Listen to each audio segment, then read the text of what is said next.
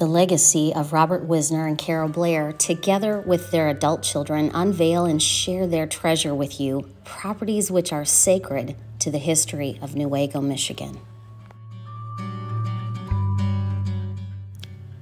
Explore with me the historic Rowe manufacturing site, an acre with 400 feet of shoreline along the Muskegon River, extending to what we call Rowe Hill five and a quarter acres with 2,000 total feet of Pennoyer Creek waterfront. Rowe Hill could be an excellent site for a hotel with water views. Imagine excavating and broadening the hill, bringing the height down to highway level, enabling parking on the top two levels of a five story stone facade building.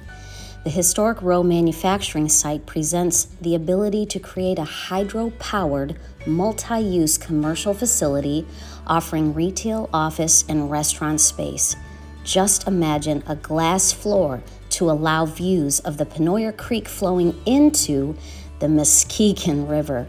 Now add the lovely thought of docking your boat out front and stepping into a dining experience with shopping afterward.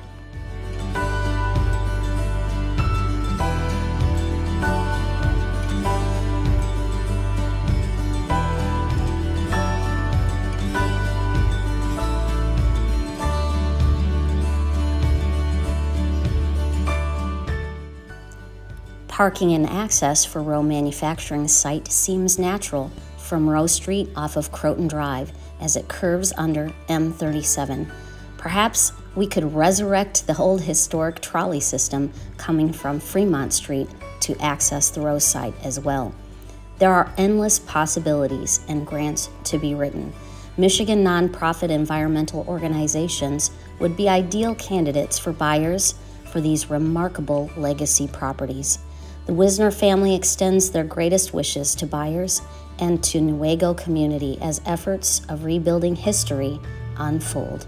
Please call me, Susan Gray, Realtor, to meet and discuss this chance of a lifetime development opportunity at 616 928 8574. Blessings and all my best, Susan.